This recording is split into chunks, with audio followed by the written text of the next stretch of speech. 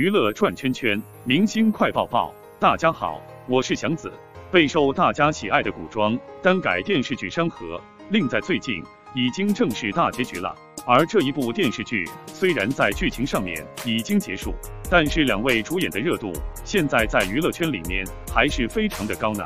最近两位主演，无论是影视邀约、综艺邀约，还是个人作品的数量，都高了很多，在时尚资源以及商业价值这一方面，也有了很大的提升。两位主演最近还签约了很多的大牌代言，可以看得出来，通过这一部电视剧，张哲瀚与龚俊在娱乐圈里面确实有了一定的知名度。而这一部电视剧在前一段时间还没有正式大结局的时候。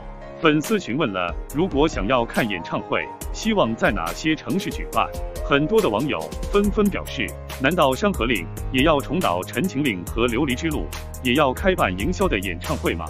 在前一段时间，演唱会的时间、地点正式发布。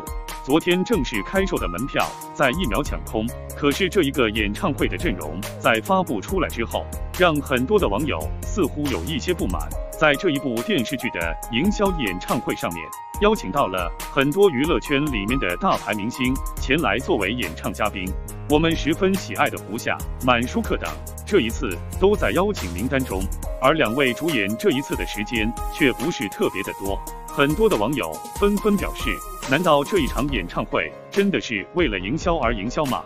不过大家想来看这一场演唱会，也一定是想要看到龚俊。和张哲瀚出演的两位主演表演时间这么长，怎么能留得住观众的心呢？两位主演在作为这一部电视剧的主演之前，在娱乐圈里面一直是一个不温不火的状态。通过这一部电视剧，成为了娱乐圈里面这一段时间的顶流明星。在很多的颁奖典礼以及时尚派对上面，我们都可以看到两位主演的出现。而在最近，两位主演的影视邀约也是相当的多。龚俊和张哲瀚最近都有了新的电视剧开始拍摄。龚俊和乔欣一起合作拍摄的电视剧《沉睡花园》，在最近也是曝光了很多的路透照片。而张哲瀚也疑似签下了几个比较大制作的电视剧，让我们也期待一下他们会在接下来给我们带来什么样的作品呢？而《山河令》在娱乐圈里面大火。也成为了第二部被大家记住的古装单改电视剧。第一部是由王一博和肖战一起合作拍摄出演的电视剧《陈情令》。这一部电视剧开启了娱乐圈里面的单改电视剧拍摄大潮。仅在二零二零年至二零二一年，备案进行拍摄的单改电视剧就有六十部之多。我们十分喜爱的很多男明星也加入了单改电视剧的潮流。对于这一类型的电视剧在娱乐圈里面大火，广电总局也疑似采取了一些限制。我们十分关注的电视剧《好一行》也疑似因为《山河令》大火的原因被推迟上线了。